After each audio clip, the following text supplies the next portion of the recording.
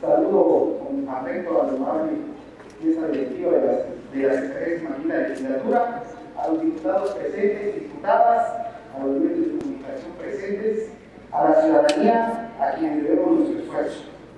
Me dirijo a ustedes desde esta tribuna legislativa solidarizándome con los más de 2.100 ex trabajadores del área de salud, que fueron despedidos por el gobierno del estado de Oaxaca, y en ese sentido quiero externarle mi preocupación a todos ustedes. Poner sobre la mesa la necesidad de revisar con cuidado y atentamente la situación en que se encuentra dicho personal. Y es que a más de tres meses que ocurrieron estos lamentables hechos, producto del hermetismo, de la incapacidad gubernamental, la, falta de sensibilidad y voluntad política por parte del gobernador, el maestro Alejandro Murat, para dar una solución a esta problemática, se desconoce la situación actual de lo que ocurre con los médicos, enfermeras y camilleros, quienes sufrieron quienes sufrieron dicha arbitrariedad y también comentar que ellos fueron héroes en un gobierno en donde ahora el gobierno, en, donde fueron héroes y ahora el gobierno les da la espalda. Forman parte,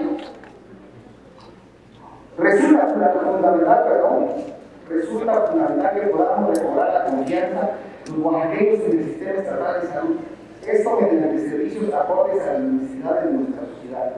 Compañeras diputadas y diputados, es relevante hacer énfasis en la importancia de esta problemática. Los trabajadores despedidos injustificadamente requieren que se cumplan las formalidades que la ley les otorga y obligan. Además, considero que todos los que estamos aquí tenemos que poner nuestro granito de arena en ánimo de, de, la resolución de esta situación.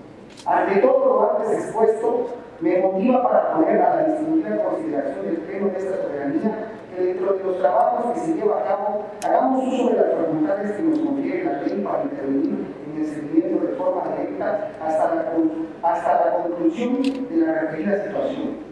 Es urgente que el gobierno del Estado y el gobierno federal tengan aquí presentar toda la información de los avances y pendientes que se tienen con este tema y que lo hagan de inmediato de forma clara, suficiente y transparente.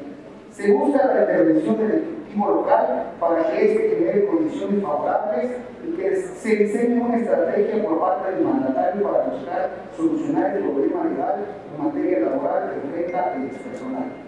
Por último, estaré dando seguimiento a través de los puntos de acuerdo que sean necesarios estoy seguro que serán aprobados por los diputados hoy presentes, privilegiando con ello la justicia el diálogo y la concordia de todas y todos.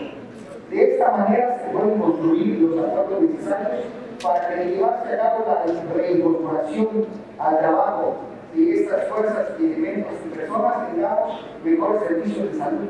No olvidemos que lo más importante es que se continúe atendiendo y brindando la salud con mayor para las y los oaxaqueños que tanto lo necesitan.